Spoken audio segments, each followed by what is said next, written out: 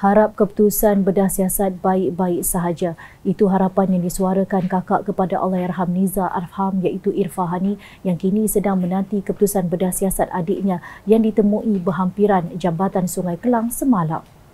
Menurutnya, sehingga kini pihak keluarga tidak mengetahui keadaan sebenar jenazah Allahyarham Niza sama ada dalam keadaan sempurna atau mempunyai sebarang kecederaan.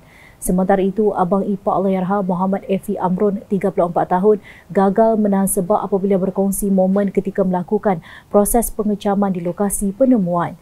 Semalam Ketua Polis Selangor Datuk Husin Omahan mengesahkan mayat seorang lelaki ditemui sekitar jambatan Sungai Kelang adalah Niza Afham 23 tahun yang dilaporkan hilang selepas berjoging di Stadium Sultan Sulaiman kemarin.